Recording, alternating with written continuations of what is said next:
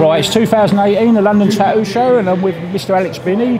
And uh, it's good to see you again, Alex. It's been And, a while. Yeah, nice to see you. It's not been that long, Paul. I, No. saw, I saw you last year, but Yeah, but what I'm trying to say is, uh, this is the first convention you worked for a while. it's the first. Well, we've had a booth all the years of Into You. We always had a booth, but I didn't actually sling Yeah, ink, yeah. as they as they say. Um, for I haven't done that for quite a few years now because just the shop was busy and I was more like helping out on the desk. Really, I, I preferred to stand around and chat to people to actually work. So I didn't actually work. But this year we got offered a free booth because we were with Vyvyn Lazonga. So because she got offered a free booth, so I thought I'll do it. I'll, I'll do it a bit just for fun. And it's been good. It's been fun. It's been all right. I've enjoyed it actually. And before we get on to talk about Mr. Sebastian, what I'd like to talk about, uh, why 1770? You changed the name of the shop? Well, yeah, because I had the interviews there all those years, and the Brighton shop was called Into You Two. But when when when Into You closed in London, um, which is out of my hands, it was to do with the lease being up and rent rent rent raises and all that kind of stuff. I just thought that it'd be nice to start a new chapter for the Brighton shop and call it 1770 because I just wanted to get away. It, it was it was always going to be Into You Two, but it wasn't Into You in a sense on its own. I thought it'd be better to have its, have its own identity, and so we so we gave it a new name. Yeah. As to as to why 1770, I've actually got a card um, about it. Basically, 1770. I just think it looks cool, but it was actually the it was the date.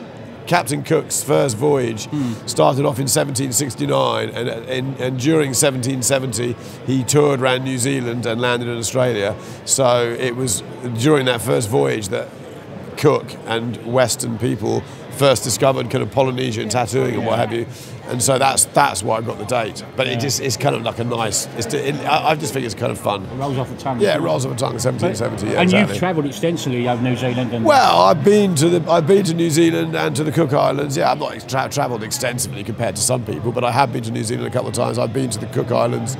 Um, um, yeah, because that is kind of the cradle in many ways of Yeah. tattooing, isn't it? The Pacific, Yeah. the, the Pacific Islands, um, including Japan, of course. Japan counts as a Pacific island, and of course that is very much part of our tattoo culture.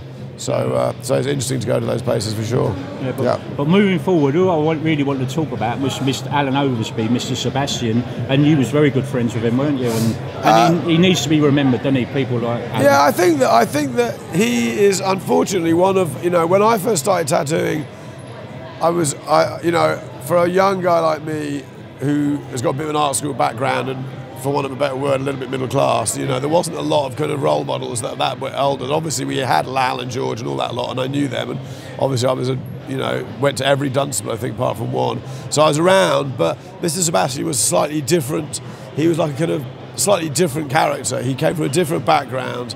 He, He had a different read, weren't he? he had a different approach. Well, he, he'd been to art school. He, he was an art school teacher actually before he became before he started ta- tattooing and piercing, of course. So i he came from a different background from a lot of what the other old school English guys had come from. And um, I got to know him and got tattooed by him because he was involved with the sort of well, Genesis P-Orridge, who was part of the Throbbing Gristle and the kind of psychic TV kind of underground industrial, for want of a better word, kind of movement. So Mr. Sebastian had pierced and tattooed him and some of that crowd, and, and because and because I was kind of on that scene, the kind of industrial scene, as it were, um, in my like early twenties, early to mid twenties, I got pierced and tattooed by Mr. Sebastian because um, he was around and he was different. He was kind of refreshingly different. Yeah. So um, and I think that yeah, it is a shame in a way that.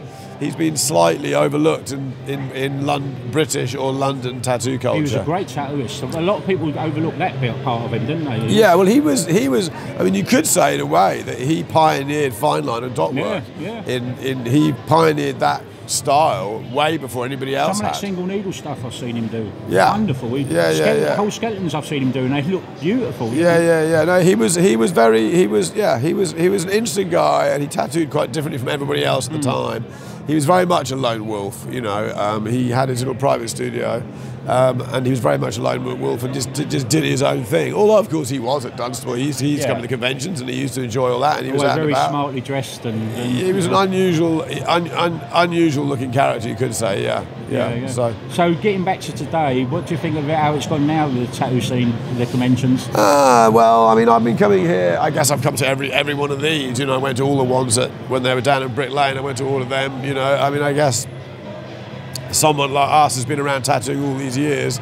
it's just an absolute fixture. You can't not come, Yeah, really. yeah. You can't not come. It's just part of the it's part of the calendar. Weirdly enough, of course, it's the same. Uh, Dunstable was always in September. Hmm. So for the last 30 or more years, my kind of life to a degree is revolved around September. September's Dunstable, Yeah. and now, of course, September's here. And uh, it's just part of the tattoo calendar. As to like what I think of it, I mean, it's hard to know what to think. It's just so big now compared Yeah. to what it was. There's, there's no doubt it is. I, I probably, for what- I- it, might sound bad saying this, but possibly less friendly than it was. I think that there's possibly a bit. it- It's so big now. Is that any scene that gets really big, I think it has to get. It gets more kind of fragmented because it's too big. In the early Dunstable days, and I always remember those Amsterdam conventions that Hank put on, which were just great. Um, the whole scene was so much smaller. Actually, I was chatting to someone yesterday here. I can't remember who it was, and we're about the old days, and they were saying, and they're probably right. When we started off, there was probably about the same amount of tattooists in the world Yeah, that there are in this in this in this building now. Yeah. I don't know how many tattooers there are here. What? What? 500, Yeah, 600, something like that, yeah. something like that. I mean, probably there was literally not many more I remember when there was the only six tattooists in the whole of London. Yeah. Exactly. Well, I don't know if I six tattooists in one street, isn't there? There can literally be that. Yeah. Yeah. it's insane. It's insane how big it's got. So obviously, you know, I, I, I, tattooing is like any other market forces. Market forces define how you know Yeah. if, if it can continue, and, and obviously it is continuing. Um, but it's not. I, I would say it's not as friendly. You can't know everybody. It used to be. You'd be walking around some of those earlier conventions, and all the kind of main names were literally in one room. And they was at the next convention and all, weren't they? and I you mean, knew them all. yeah. You, you, you, I mean, you know, you got to know them all because there was so few of you. And I, I of course, at that time was very young and enthusiastic and keen to meet people. So um, they were fun times. But this is fun too. And I guess it's hard to know, isn't it, for a for a sort of a guy or girl in their mid twenties who is who are just starting to get into it. You know, they've been tattooed a couple of years and they're and they're travelling a little bit and they're starting to meet people and they're coming here. I, I, I imagine the, excite, the, the excitement Yeah. must be phenomenal for them because it's all new to them. You know, I'm afraid some some of us old types, you know, it's a little bit like here we go again. You mm. know, Yeah, yeah. but it's but it's fun. I wouldn't I wouldn't miss it for the world. Absolutely, I wouldn't miss it for the world. That's about it. Alex, Alex always Nice. a pleasure to meet you. All right. I, I m- must have been 35 years ago we first met. Oh, must yeah, well, yeah. I mean, you're, yeah, you're, you're. I guess you're, you're a fixture. We're you the know. dinosaurs now. Yeah, you're Yeah. The, well, I don't know about I don't know about me. I like to think I have got a, few years left in me, but um, yeah, no, I remember you from you know when you used to be, when you used to be with Lionel and what Yeah. have you, and uh, yeah, you you're like you've always been here, haven't you? Paul Many says years, all, yeah. always been here. So.